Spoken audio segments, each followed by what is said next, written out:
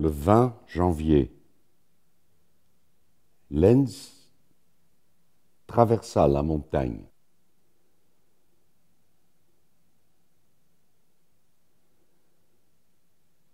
Les sommets et les hauts flancs de montagne dans la neige.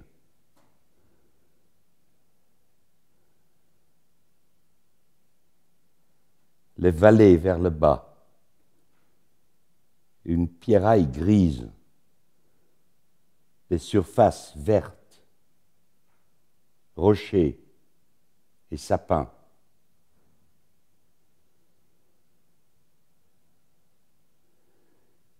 Il faisait un froid humide. L'eau descendait en ruisselant des rochers et bondissait par-dessus le chemin. Les branches des sapins pendaient lourdement dans l'air humide. Au ciel passaient des nuages gris, mais tout si compacts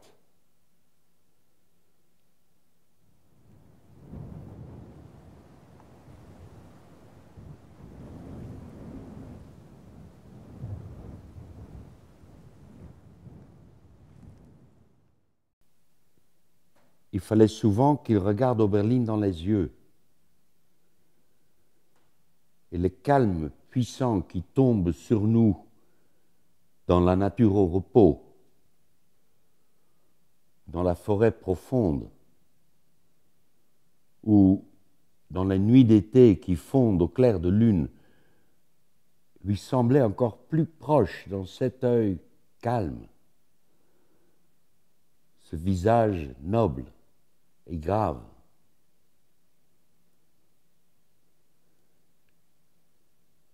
Il était timide, mais il parlait, il faisait des remarques. Sa conversation était très agréable à Oberlin.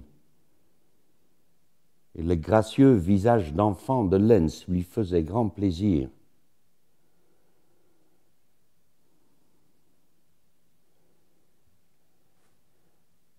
Mais c'est seulement tant que la lumière reposa dans la vallée que ça lui fut supportable.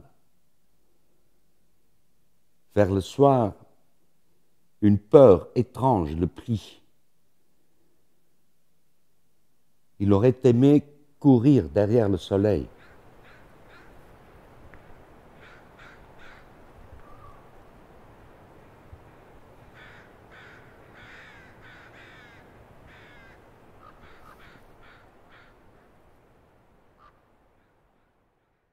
À table, Lenz était de nouveau de bonne humeur. On parlait de littérature. Il était dans son domaine.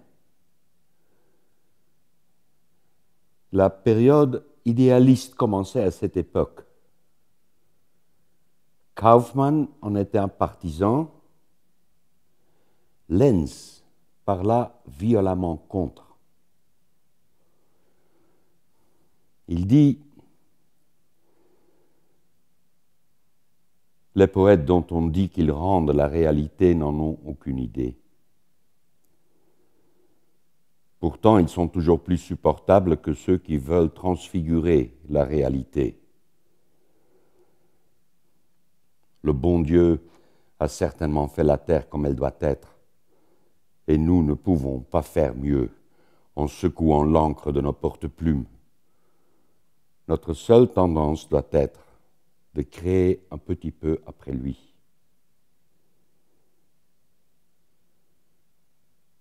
J'exige en toute chose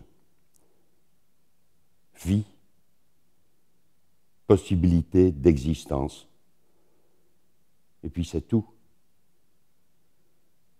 Nous n'avons pas alors à nous demander si c'est beau ou si c'est laid le sentiment que ce qui est créé a de la vie est au-dessus des deux. Et c'est le seul critère en matière d'art.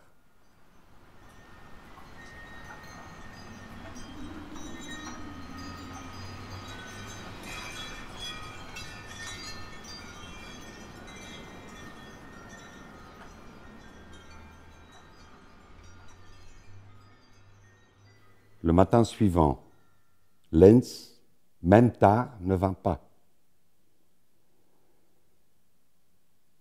Finalement, Oberlin monta dans sa chambre. Il était couché, immobile, tranquille. Oberlin dut l'interroger longtemps avant de recevoir une réponse. Enfin, il dit Voyez-vous, monsieur le pasteur, l'ennui? L'ennui, c'est si ennuyeux. Je ne sais pas du tout ce que je dois dire, j'ai déjà dessiné toutes les figures sur le mur. Omelin lui dit qu'il se tourne vers Dieu.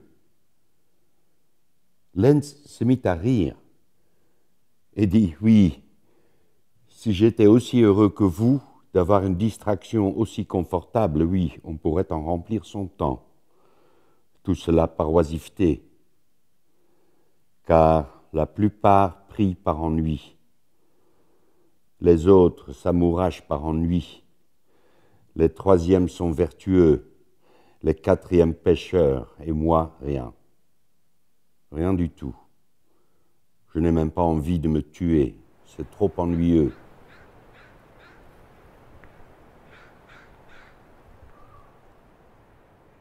Vers le soir, Oberlin fut appelé à Belfos auprès d'un malade.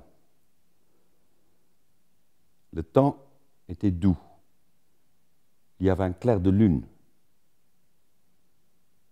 Sur le chemin de retour, il rencontra Lenz, qui paraissait tout à fait raisonnable et parla aimablement et tranquillement avec Oberlin, qui lui demanda de ne pas aller trop loin. Il le promit. En partant, tout à coup, Lenz se retourna. Il s'approcha tout près d'Oberlin. Il lui dit rapidement, Voyez-vous, monsieur le pasteur, si au moins je pouvais ne plus entendre cela, je serais sauvé. Quoi donc, mon cher? Vous n'entendez rien? Vous n'entendez pas cette voix effroyable qui crie partout à l'horizon et que l'on nomme d'habitude le silence? Depuis que je suis dans cette vallée silencieuse, je l'entends toujours et ça ne me laisse pas dormir. Oui, monsieur le pasteur, si au moins je pouvais une fois dormir. Il continua son chemin en secouant la tête.